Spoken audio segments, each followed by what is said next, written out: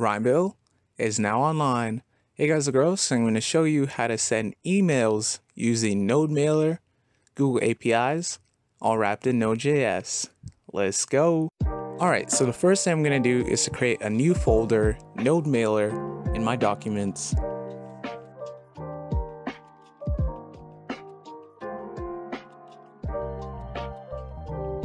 In this folder, I'm going to go ahead and initialize npm.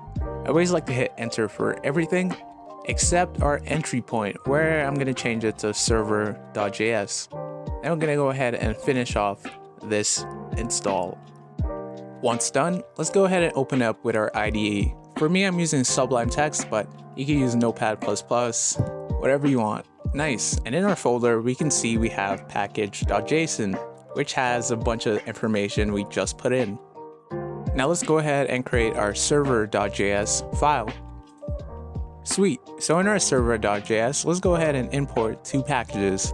The first is going to be our node mailer, and the second is going to be from our Google APIs.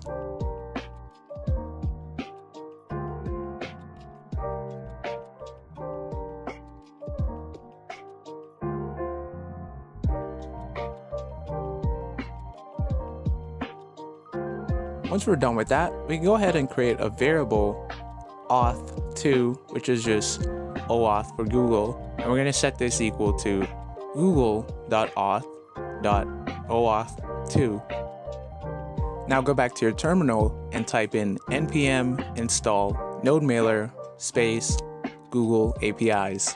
That's going to install the two packages we need for this. Awesome. And that's it for our code for now. Now we're going to switch up to Google and head off to Google Cloud. Google Cloud is going to allow us to set up our credentials for our client secret, client ID, our refresh token, and our access token, which we're going to use to send our email. Let's create a new project. For our project name, I'm going to call mine Node Mailer, just to keep it short and simple. Then we're going to hit create. Once you do that, in the top right, you should see some sort of notification of it loading. Select project. Now on your left panel, go to your APIs and services, and now we're going to select credentials. Now let's go ahead and create our credentials. But here it's going to force us to create a consent screen first, so let's do that.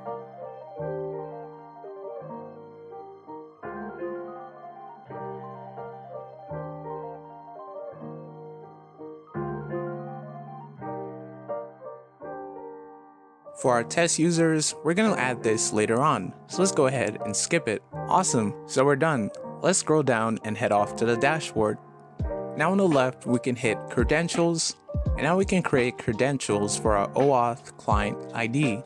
Select the web application, if you like, you can change the name. But most importantly, we're to add an authorized redirect URL. You can find this in the description below, and this is to allow us to connect to our Gmail service this should spit out our client ID and our client secret. Back in our script, I'm actually going to create a new file and I'm going to call it config.js. We're going to type in module.exports is going to equal to an object. And here we're going to export the object which contains our client ID and our client secret. So that way we can import this config.js file into any route we have our server.js or whatever you have going on. And just in case if you clicked off too fast, you could actually click your web client one and your client ID and secret should be in the top right. And since we're on here, let's go ahead and copy and visit that website. Awesome, so on this website, we're gonna go ahead and hit the settings icon. And down below, you're gonna see a checkbox for use your own OAuth credentials. Hit that. Now we're gonna enter our client ID and client secret we just got from the page before. Sweet, so on the left, we're going to authorize our mailing API. So just copy the URL I'm typing out.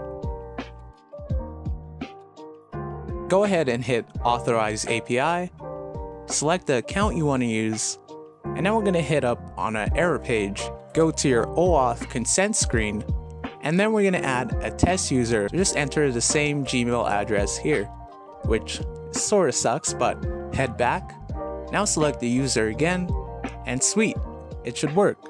Now all you gotta do is to select all the affirmative answers so we can actually get this working. Awesome, so now you should see a big blue button, go ahead and hit that. And now in the bottom right, we're gonna see a response. And the only thing we need from this response is our refresh token. So go ahead and copy your refresh token and slap it onto our config.js. Great. So once that's done, let's go back to our server.js and now we can import our config.js file.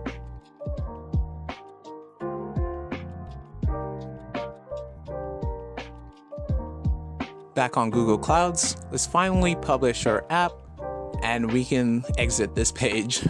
Back in our code, we just need to set up our OAuth client. So we're going to set our OAuth client is equal to new OAuth 2, and then we're going to pass in our ID and secret. And since we have this in our config, just go ahead and paste it in there.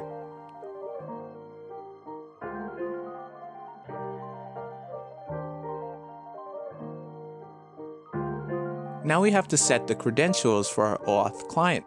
And we're going to set the refresh token and we're going to pass in our config.refresh token.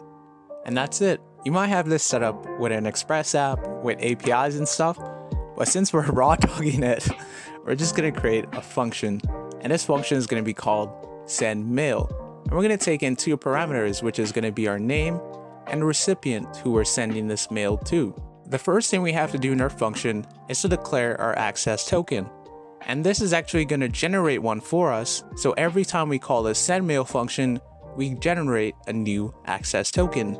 Next up, we're going to create a variable transport, and this is going to be equal to our node mailer.create transport.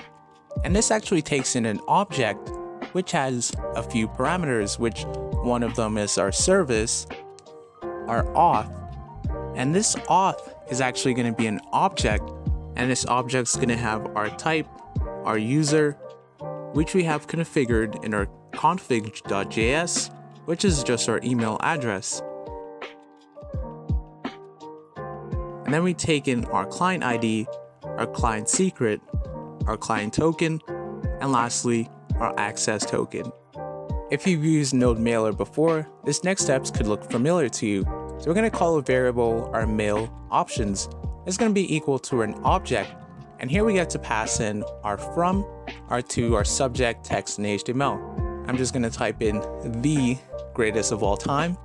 And then in angled brackets, we have to pass in an email address. And then we send this to our recipient, which we're passing in from the function. And then our subject is just to be a message from the greatest of all time. which is pretty cool subject line. And now we have the option passing in our HTML message or a text message. So a text message is just going to be plain text, but that's kind of lame. So we're going to actually set up a HTML message and we're going to pass in the function get HTML message. And this is going to later take in our name so we can customize this message. Sweet. And lastly, we're going to say it transport.sendMail. This is going to take in our mail options and also take in a callback function which passes in our error and our result. And here we're just going to log out our error if we get any. We're going to log out our success. End it off with transport.close. Now let's go ahead and create our function get HTML message. And remember this takes in our name parameter and what this is to do is to return bolded header, which just says their name we pass in, you're awesome, and it'll look like a personalized message.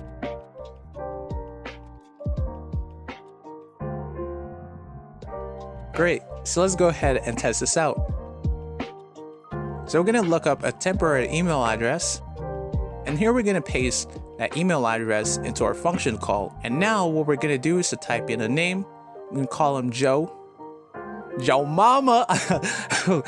Here we're going to type in node server.js because that's our JS file we want to run and we get an error.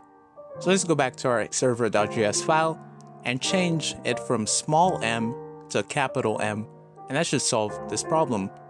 So if we go back to our CMD and we go ahead and run this command again, we should now see a success output, which is awesome.